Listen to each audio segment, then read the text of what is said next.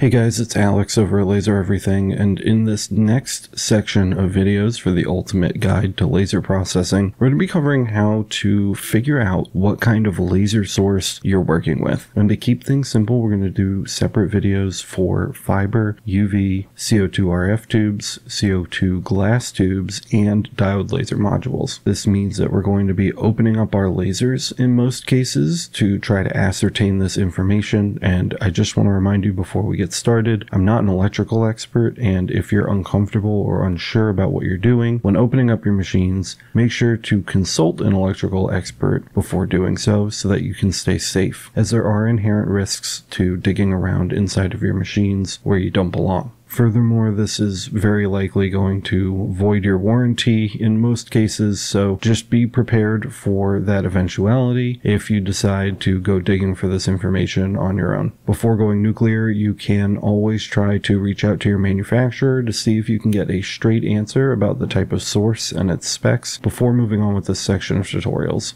oftentimes they'll happily share that information with you. And if you can get it with them and you trust your manufacturer is being accurate with that information, then that is a preferable way to go about this. That said, let's cut the sticker and dive into CO2 glass tubes.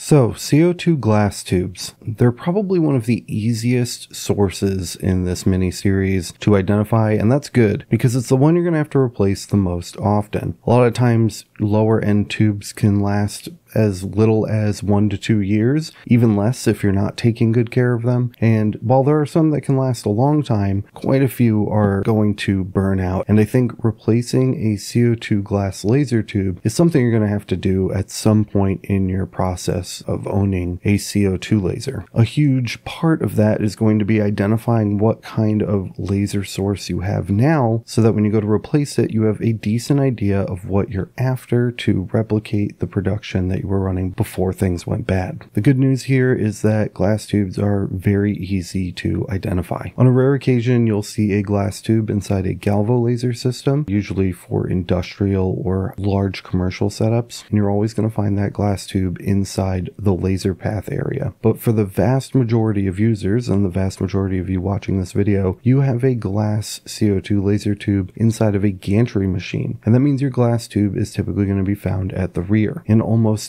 every single device I've ever owned that uses a glass CO2 laser tube, there is a giant door in the back which is very easily opened and exposes the tube for you to inspect or change out in the future if needed. You'll want to make sure that the machine is at the very least off, though it would be better if it was unplugged while you were inspecting the tube. CO2 glass tubes very often run on extremely high voltages and you have to be obsessively careful when working around it and manipulating it because it can be extremely dangerous to come in contact with these in the wrong place at the wrong time. Once you've found your laser tube, it's as easy as looking at the giant sticker. They're really hard to miss. It's practically shouting, hey, read me. So let's take a look at some examples and see what kind of tubes we've got hanging around the shop. Let's start with an easy one here. Here is the glass tube from my Mira 9. This is a Reci laser tube and you can see it is the model W4 and it's got a peak power output of 117 watts. The agreement power or the average output power is 100 watts and this is your working power. This is what you should be expected to get and use. And we've also got a little bit more information here like the date of production and some websites where you can get more information about your source. So this is great. Reci tubes are super easy to identify and they're one of the best tubes on the market. The next tube we can take a look at is the laser tube inside my OMTech 2820. This is a tube that I installed myself after the original one went bad. Let's take a look at the product model. This is a Reci W2. It's got a peak power of 102 watts and an agreement power or average power of 90 watts. And again, we've got the production date. Like I said, for the first one, Reci Tubes, super easy to identify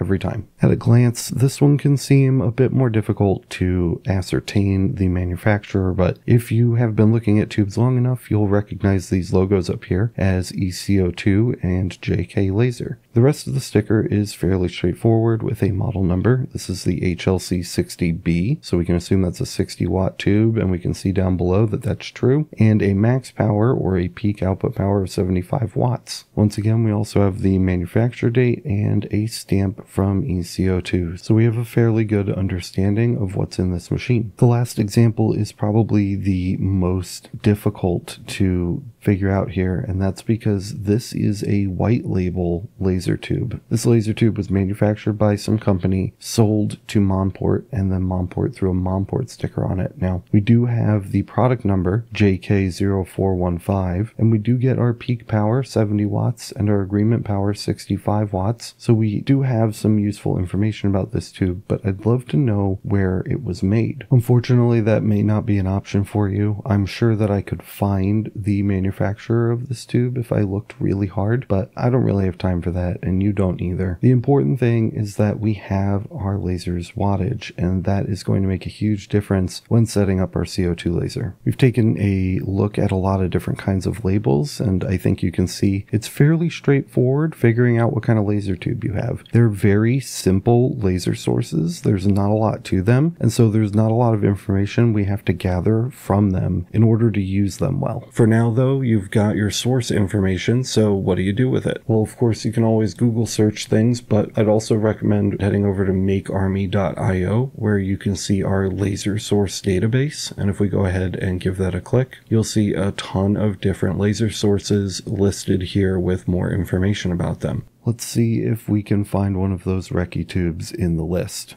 Here is the W4, and if we give that a click, we can check out some details about our laser tube. We've got a make and model here. We can see our laser wattage, our wavelength. And again, guys, a lot of this stuff is going to be missing, like pulse width, or pulse repetition rate, and that's because CO2 glass tubes are almost always continuous wave lasers, so a huge amount of the stats that are normally covered for a laser source simply aren't details that you're going to find in this kind of documentation. Though we can find things like operating voltage, storage temperatures, and dimensions if we need those things for planning how to fit a new laser tube into an existing system or other situations like that. And again, you can find this at at makearmy.io under the laser source database to get all the information you need to set your laser up properly inside of Lightburn once we get to that point. So this is something you're going to want to bookmark because we're going to come back to this page over and over again. If for some reason you can't find your source in this database or your source is missing information, feel free to reach out to me and let me know. We can get it added if you do have the data for it. If you don't, I'm sure we can find somebody that has a similar source in the community. Hit us up over at Discord Discord or at masters.lasereverything.net if you want to support the channel, and we can help you discover the accurate details about your laser source so you can get your machine set up properly. That's all for now. There's a lot more to discuss as far as what's going on inside of this machine, but